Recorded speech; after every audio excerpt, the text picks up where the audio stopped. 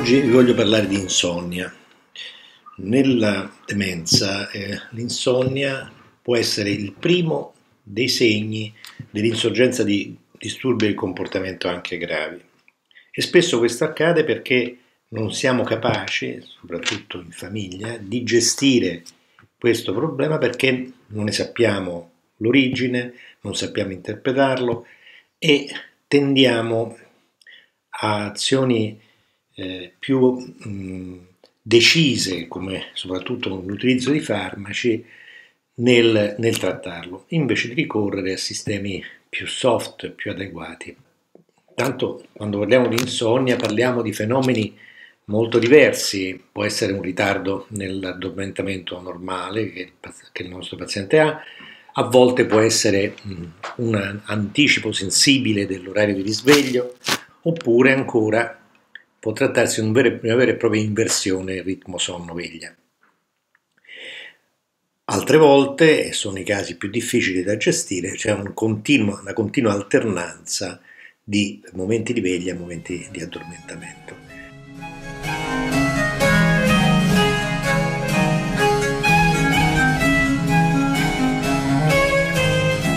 Quali sono i primi rimedi da utilizzare? Certamente il primo rimedio è quello di guardare bene il nostro paziente, il nostro parente in questo caso, il nostro familiare e cercare di intuire o capire quale può essere il problema che è causa dell'insonnia, perché una causa c'è sempre.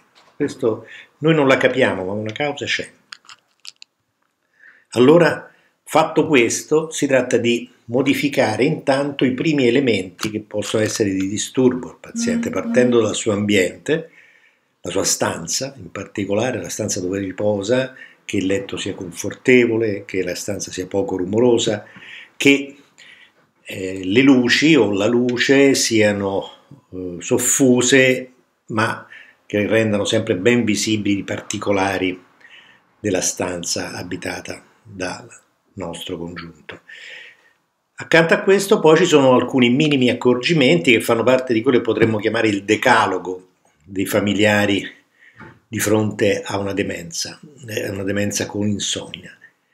È quello di eh, curare una cena leggera e almeno un paio d'ore prima dell'andata a letto del nostro paziente, eh, ridurre la quota di liquidi assunti la sera, perché potrebbe trattarsi di un problema urinario, soprattutto in caso di uomini, dobbiamo fare in modo che l'attività fisica durante il giorno sia ben distribuita e concentrata soprattutto la mattina.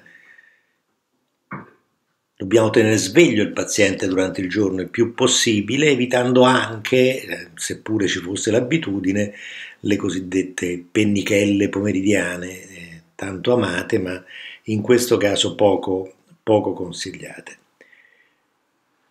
Questi provvedimenti sono quelli più normali che potete prendere prima di ricorrere alle goccioline. Ecco, delle goccioline, delle, dei rimedi omeopatici, dei rimedi naturali, bisogna diffidare. Ne parleremo meglio in un prossimo intervento a cui vi invito.